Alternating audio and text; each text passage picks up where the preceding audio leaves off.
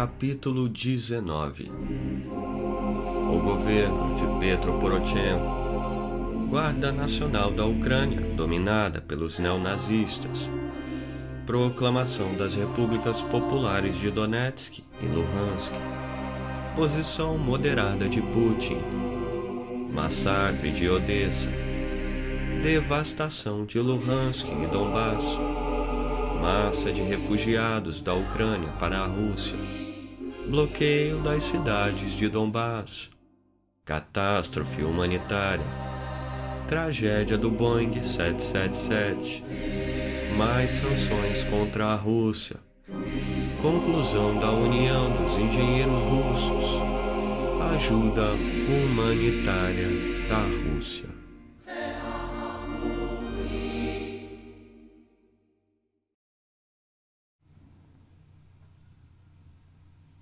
Petro Poroshenko assumiu o governo em 7 de junho de 2014, o que, de certo modo, legitimou a junta, isto é, a ditadura neonazista instituída em Kiev, dado que também o presidente Putin declarou respeitar o resultado da eleição monitorada pela Organização para a Segurança e Cooperação na Europa, OSCE, e o reconheceu como presidente da Ucrânia.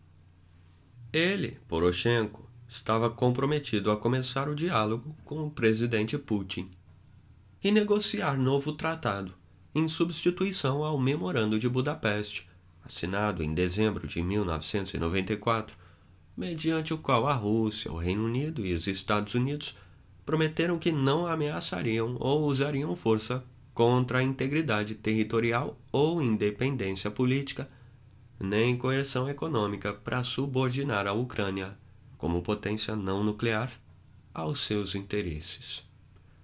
O plano de paz que apresentou, com cinco pontos para negociação, previa terminar em breve as operações especiais em Donbass, conceder anistia a todos os que depusessem armas e não houvessem cometido sérios crimes, a libertação dos prisioneiros bem como caminhar para a descentralização do governo, a proteção da língua russa e a reforma da Constituição.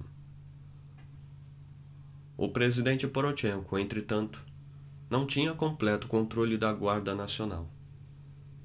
Desde o início do levante no leste da Ucrânia, a junta de Kiev perdeu o controle sobre a região. Milhares de soldados da Guarda Nacional, mais de 17 mil, desmoralizados pelo despreparo e ante a raiva dos habitantes, bem como efetivos da polícia, haviam desertado e continuavam a passar para o lado dos rebeldes com armas e todos os equipamentos bélicos. Ainda em agosto de 2014, cerca de 311 soldados e guardas da fronteira correram em direção à Rússia, em meio à intensa barragem de tiros no checkpoint de Gukovo. Daí porque, talvez por falta de confiança nas tropas regulares em consequência de tantas defecções, Viktor Muzenko, chefe das Forças Armadas da Ucrânia, tenha feito um negócio com Dmitro Yarosh, o líder do setor de direita, e incorporou à Guarda Nacional os batalhões de voluntários neonazistas que eram ideologicamente motivados para combater os rebeldes de Donbass. Esses batalhões preservariam status de independência, embora devessem obedecer às ordens dos chefes de Estado-Maior na guerra contra o inimigo externo, o que significava os insurgentes de Donbass. O oligarca Ihor Kolomoisky ainda que demitido da governança da Oblast de Dnipropetrovsk pelo presidente Poroshenko, continuou a manter suas unidades armadas na linha de frente. O presidente Putin, por sua vez, havia exortado os insurgentes a não realizarem o referendo para proclamar a independência das repúblicas populares de Donetsk e Luhansk precisava de espaço a fim de negociar a crise com o presidente Poroshenko dentro dos marcos da federalização e autodeterminação das oblastes, sem dilacerar a Ucrânia, mantendo formalmente sua integridade territorial. Não foi atendido.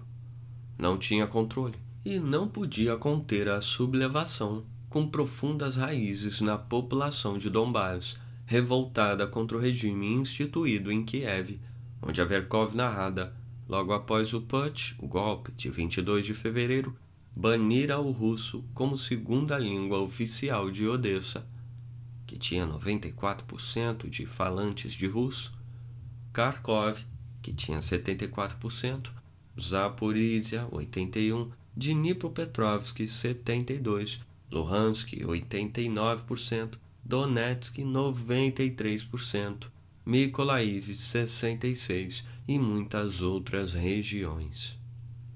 As exibições de filmes russos e programas de televisão da Rússia foram proibidas, em meio à campanha dos neonazistas e nacionalistas radicais que exigiam oficialmente a, entre aspas, purificação étnica.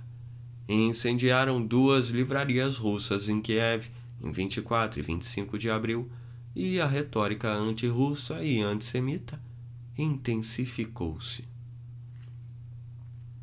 Daí que cerca de 90% dos combatentes das repúblicas populares proclamadas em Donetsk e Luhansk eram habitantes locais, e somente depois, em meados de agosto de 2014, soldados russos licenciados entraram na luta, conforme depoimento de Igor Vsevolodovich Girkin, conhecido como Igor Strelkov coronel do Serviço Federal de Segurança, FSB, e um dos principais dirigentes do levante em Donbass. Possivelmente os russos que participaram dos combates em Donbass, calcula-se que entre 3.500 e 6.000 a 6.500, pertenciam às brigadas de Spetsnaz, forças especiais do GRU, reformados para não comprometer a Rússia. Igor Girkin, ou Igor Strelkov, disse ainda que um grande desapontamento dos rebeldes foi a falta de maior assistência de Moscou, que lhes negou ampliar o suprimento de armas pesadas, morteiros, canhões, metralhadoras, mísseis e etc., e sempre recomendava o diálogo com Kiev quando eles solicitavam a adesão à Federação Russa. Os Estados Unidos e a subserviente União Europeia, entretanto, insistiam em acusar Moscou de fomentar a partição da Ucrânia e aplicaram novas sanções sucessivamente contra cidadãos, políticos, homens de negócios e empresas da Rússia. As violências iniciadas durante as manifestações na Maidan e Zalenost não cessaram, antes haviam recrudescido com os massacres perpetrados pelas milícias paramilitares neonazistas do Svoboda, setor de direita e outras organizações integradas na Guarda Nacional, a bombardearem indiscriminadamente as cidades sob o controle dos insurgentes destruindo principalmente residências, escolas e hospitais, com o aparente desígnio de exterminar a população civil russófona de Donbass. Em 2 de maio, tais milícias, com insígnias similares à suástica nazista, juntamente com grupos nacionalistas autônomos e hooligans de futebol, sob o comando de Mykola Volkov, haviam atacado a cidade portuária de Odessa, na costa do Mar Negro, e lá exterminaram dezenas de pessoas. Segundo informes desencontrados, poderiam ser 48 ou mais de 116, incendiando com coquetéis Molotov e granadas o Palácio da União dos Sindicatos, onde abrasaram vivos e sufocaram 39 trabalhadores, líderes sindicais e outros militantes pró-federalização, alguns dos quais sucumbiram a saltar pelas janelas do prédio para salvar-se do fogo. Os números divulgados indicavam 200 feridos aproximadamente. As instruções partiram do neonazista Andriy Parubi, secretário do Conselho de Segurança e Defesa e cofundador do Partido Nacional Socialista, depois Svoboda, da junta de Kiev. E na ofensiva para recapturar a cidade de Slaviansk, diversas outras atrocidades e outros crimes de guerra foram cometidos pelas forças de Kiev. Há denúncias de tortura e execução de prisioneiros, e o assassinato de centenas de civis com um indiscriminado bombardeio de residências, escolas, hospitais e outras edificações não militares. Contra a cidade de Slaviansk, a artilharia da Guarda Nacional lançou os antigos foguetes múltiplos BM-21-Grad. O batalhão Aidar, composto por voluntários e estipendiado pelo oligarca Ihor Kolomoisky, que, apesar de judeu, sustentava forças nazistas, atuava paralelamente às tropas de Kiev e cometia toda a sorte de crimes, inclusive sequestros, roubos, assalto a bancos, extorsões e execuções, no estilo das crueldades praticadas pelo exército islâmico, ISIS. Em 27 de junho, o presidente Poroshenko assinou o acordo comercial com a União Europeia e a trégua com os insurgentes de Donbás, por ele decretada, não durou mais do que dez dias.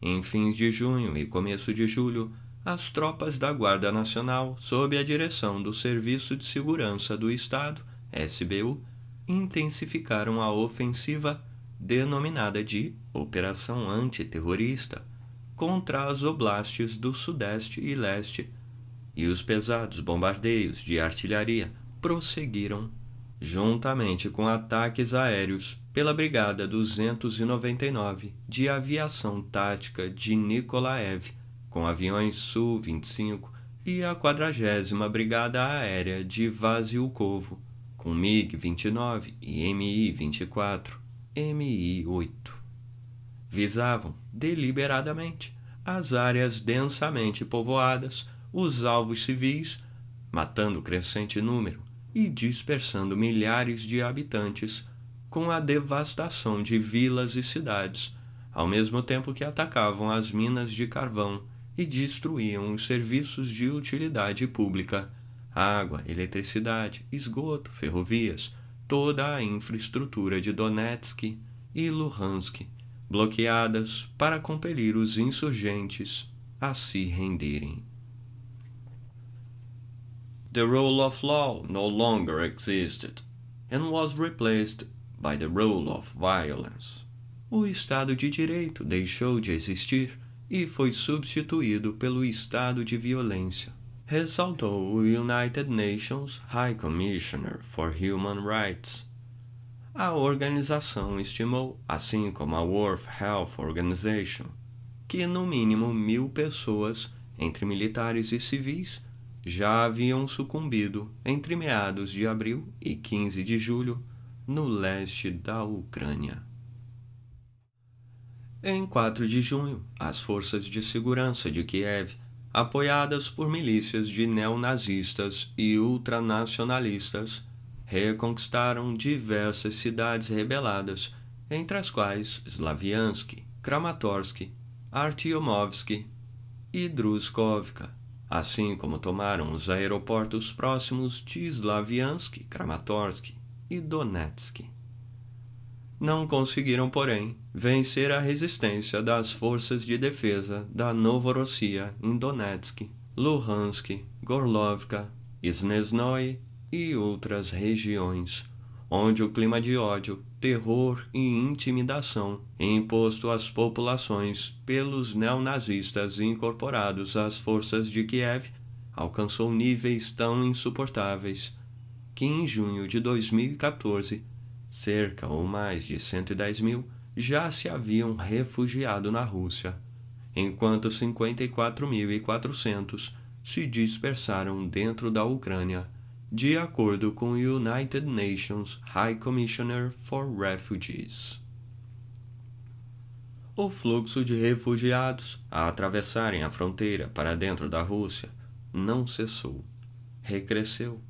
Até o início de agosto, aproximadamente 730 mil habitantes do leste da Ucrânia buscaram abrigo na Rússia. Porém, segundo o ministro de Assuntos Estrangeiros da Rússia, Sergei Lavrov, o número dos habitantes de Donbass que cruzaram a fronteira da Rússia, fugindo da guerra civil, já havia, em junho de 2014, alcançado o montante de um milhão. De qualquer modo, o United Nations High Commissioner for Refugee confirmou, em setembro, que pelo menos 814 mil habitantes de Donbass se refugiaram na Rússia, enquanto 260 mil migraram para outras regiões da Ucrânia.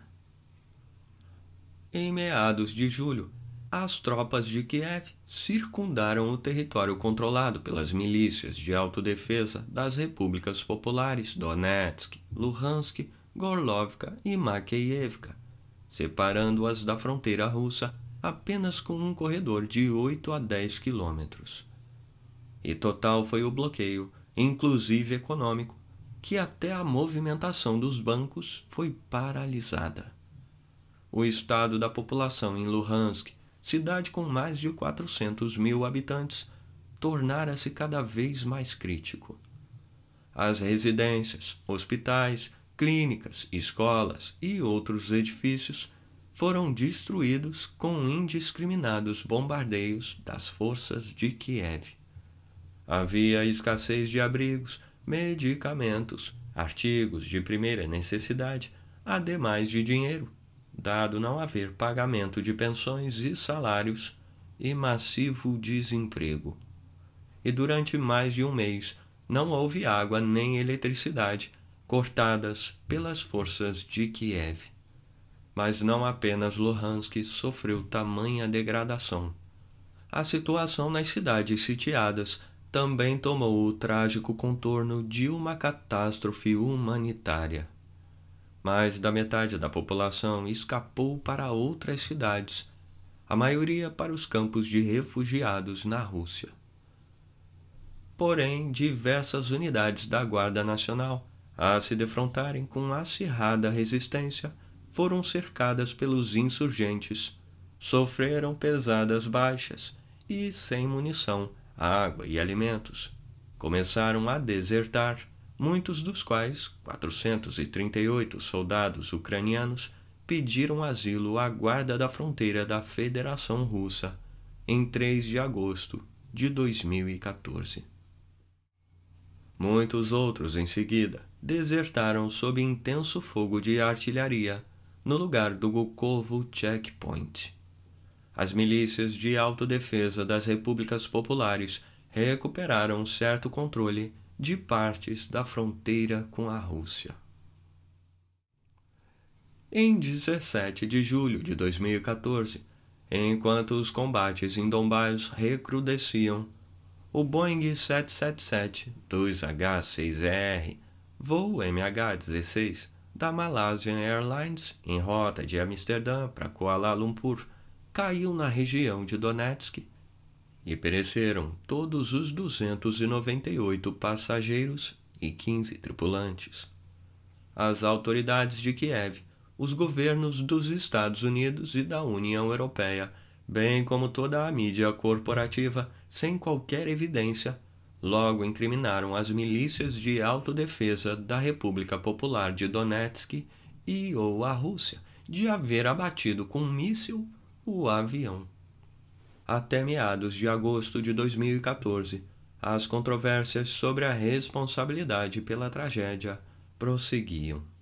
Mas por que as milícias de autodefesa de Donetsk haveriam de derrubar sobre seu território um avião civil?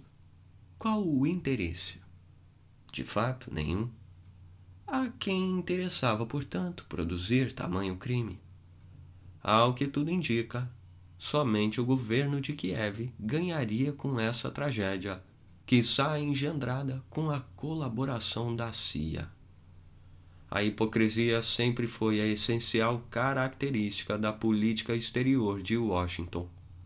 Realizar black operations e cover operations, atos ilegais, criminosos, porém de modo a permitir plausible deniability, negação plausível, e não muito afetar as relações diplomáticas e a imagem dos Estados Unidos com indispensable nation nação indispensável.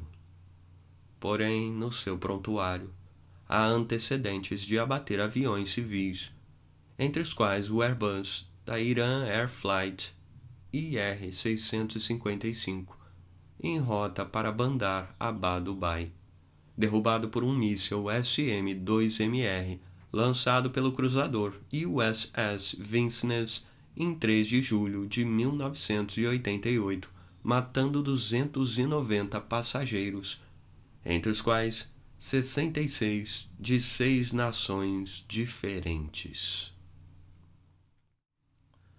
Ao que tudo indica, o desastre do Boeing 777 MH17 constituiu uma false flag operation, uma operação de bandeira falsa, como um instrumento de psychological operations e psychological warfare contra os insurgentes de Donetsk e Luhansk e a Rússia.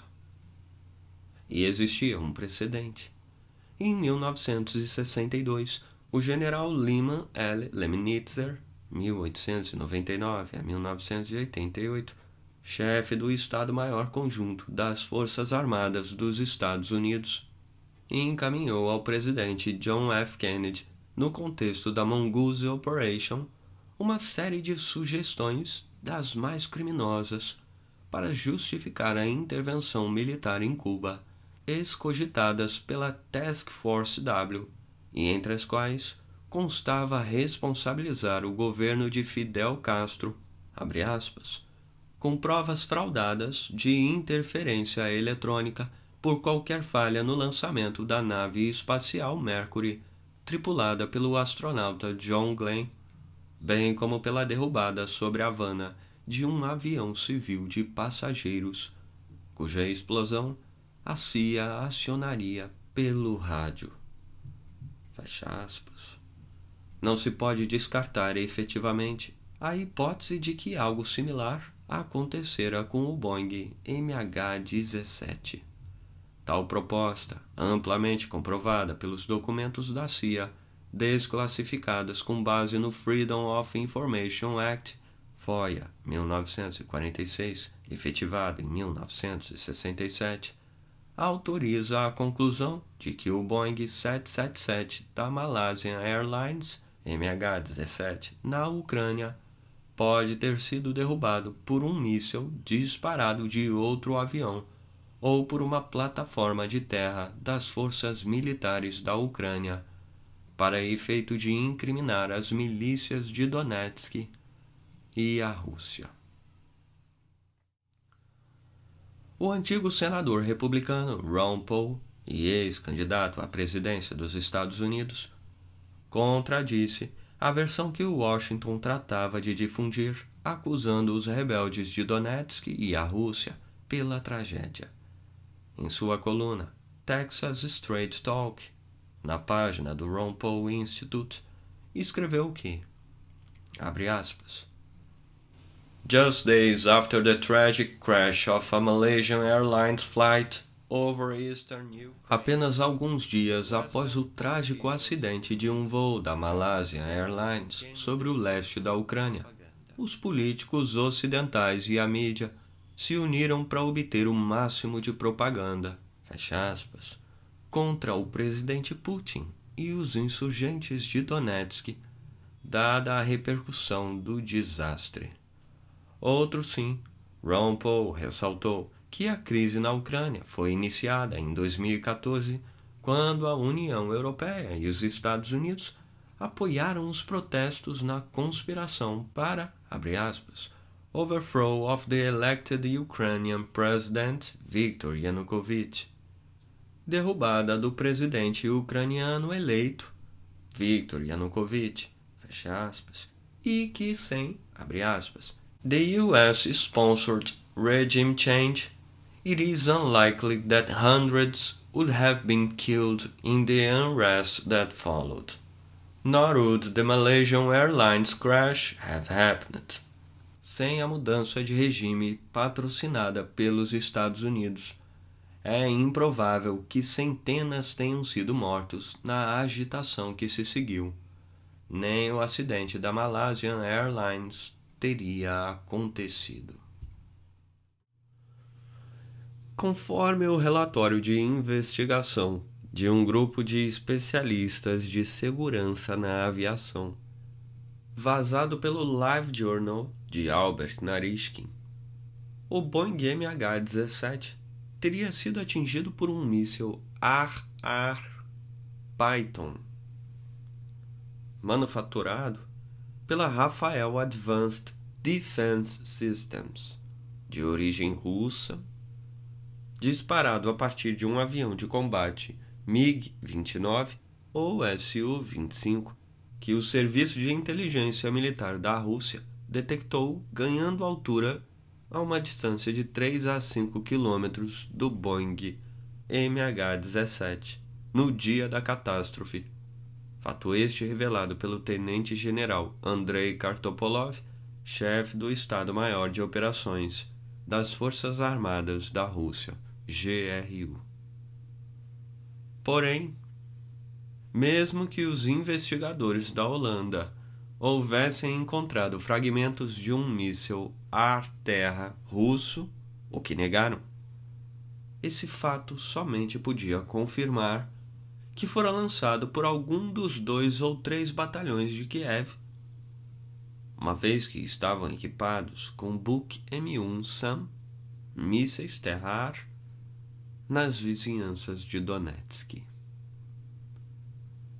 Ian Novikov diretor executivo da corporação estatal russa Almaz Antey, OAO, a indústria de sistemas antiaéreos, informou à imprensa que seus analistas examinaram destroços do foguete que abateu o MH-17 e concluíram que se tratava de um Buk 9M38M1 terra-ar armado com uma ogiva 9H314M, fora de produção desde 1999 e não mais usado pelas Forças Armadas da Rússia, cujo sistema mudara para o Buk com ogivas 9M 317M. Os furos nos fragmentos do avião eram consistentes com o tipo de míssil que atingiu o Boeing MH-17. Segundo aduziu, as evidências indicavam que o aparelho fora derrubado por um míssil autopropulsado terra-ar 9M38M1 da Ucrânia, arremetido a partir de um Buk M1, sistema localizado em Zaroskenko, região de Donetsk. A União Russa de Engenheiros, no entanto, examinou todas as hipóteses e, com base na análise da fuselagem do avião, concluiu que a tipologia dos furos e sua localização sugeriam que o mais provável era que um míssil ar-ar disparado presumivelmente por um jato Su-25 ou MiG-29 com canhão GSH-230 ou SPPU-22 atingira o cockpit do Boeing 777, despressurizando-o subitamente o que destruiu o sistema de controle do avião e o piloto automático falhou. E daí a explosão, a alta altitude, razão pela qual os destroços se dispersaram por 15 quilômetros. As milícias de autodefesa de Donetsk chegaram a derrubar 16 ou 17 aviões de combate que as atacavam a baixa altitude, sendo alguns de transporte militar. Também derrubaram seis helicópteros e destruíram aeronaves nos aeroportos. Contudo, não possuíam força aérea nem artilharia capaz de atingir um aparelho a uma altitude de 10.100 metros cerca de 33 mil pés de altura, a uma velocidade de 905 milhas por hora. Também não dispunham de radar para localização. Entretanto, no dia em que o Boeing 777 foi abatido, 17 de julho, o jornal Kiev Post noticiou que o Conselho Nacional de Segurança e Defesa da Ucrânia havia registrado que um avião militar russo havia invadido seu espaço aéreo e atirado contra um jato Su-25 das Forças Armadas da Ucrânia. Curiosamente, o avião militar russo teria errado o alvo e, em consequência, não conseguiu derrubar o Su-25 ucraniano. Por outro lado, segundo informações de autoridades de Kiev, o Boeing 777 estaria sendo escoltado por dois Su-27 Flankers da Força Aérea Ucraniana, minutos antes de ser atingido. A hipótese de que fora derrubado por erro do operador em terra, dentro de um Buk SA-11 SAM, míssel terra-ar sistema telar, no entanto, não é plausível. Não há figura consistente. O operador, dentro do book, podia ler Boeing 777 e o transponder, dispositivo de comunicação eletrônica que transmite todos os dados do aparelho, podia identificar perfeitamente que se tratava de um aparelho civil em rota de Amsterdã para Kuala Lumpur. De qualquer modo, nem Holanda, nem Bélgica e Austrália, até meados de agosto de 2015, revelaram o resultado de suas investigações. E o porta-voz do procurador-geral, Yuri Boychenko, declarou que só poderia ser anunciado após o consentimento de todas as partes. Contudo, o presidente Barack Obama, como supremo juiz, e seus vassalos da União Europeia, sem qualquer prova, evidência ou consenso, logo decretaram vastas sanções contra a Rússia, incluindo pessoas ligadas ao presidente Putin. Embargo de armas, restrições financeiras de acesso ao mercado de capital, defesa, bens de uso dual e tecnologias sensíveis. O objetivo da derrubada do avião, como False Flag Operation, era certamente o de adensar as Psychological Operations, a propaganda através da mídia e a guerra econômica visando a desestabilizar a Rússia e o governo do presidente Putin. A Ucrânia, ao separar-se da União Soviética, herdara interalha dezenas, cerca de 40, de regimentos de aviões de combate Sukhoi Su-25 e outros, ademais de MiGs, e enorme estoque de mísseis ar-ar e terra-ar, cerca de mil em seu arsenal, projetados pela Yuzhnoye Design Office Yuzhnoye. Algumas partes dos quais eram construídas na planta da AM Makarov em Dnepropetrovsk e outras na Rússia.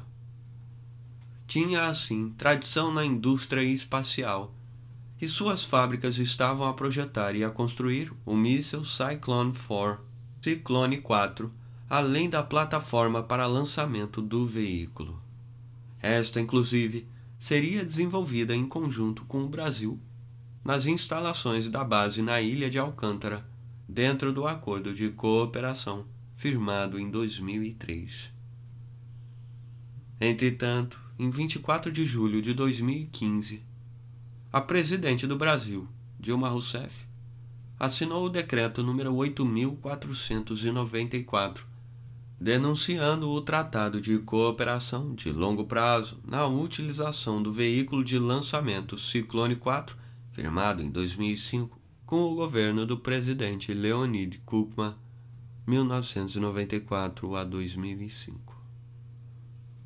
A crise na Ucrânia deflagrada com o Putsch golpe de 22 de fevereiro de 2014, foi o que determinou, entre outros fatores, tal decisão, tal decisão, pois o sítio de Alcântara iria servir para o lançamento do veículo Angara da Rússia, projetado e manufaturado pelo Khrushchev Research and Production Space Center de Moscou.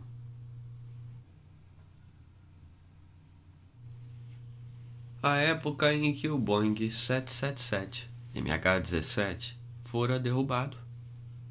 A situação em Luhansk e Donetsk alcançara tal ponto, com a população a sofrer extrema carência de alimentos, roupas e medicamentos, que Moscou decidiu enviar um comboio de 280 caminhões com ajuda humanitária.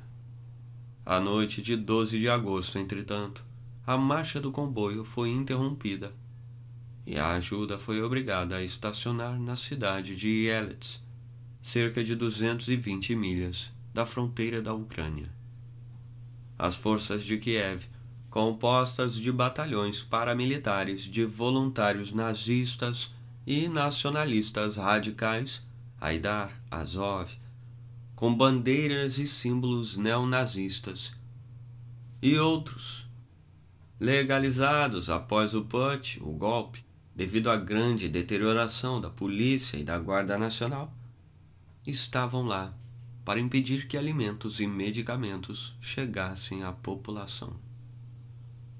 Havia suspeitas de que o comboio de 280 caminhões não passava de uma impostura e que o objetivo era de fato a invasão da Ucrânia pela Rússia, o cavalo de Troia difundidas sobremodo pelo warmonger Anders Fogh Rasmussen, então secretário-geral da OTAN. Porém, o presidente Poroshenko, sob pressão do Comitê Internacional da Cruz Vermelha, que se deslocou para Kiev, e dos governos da Alemanha e França, autorizou em 16 de agosto a entrada, através do checkpoint de Donetsk, dos 280 caminhões com 1.856.300 toneladas de medicamentos, cereais, açúcar, alimentos, inclusive leite para crianças, sacos de dormir, roupas de inverno e outros suprimentos. Coube à Cruz Vermelha e à OSCE acompanhar, dar assistência e fazer a supervisão. Desde então, a Rússia enviou vários outros comboios de caminhões com ajuda humanitária para as repúblicas populares de Donetsk e Luhansk.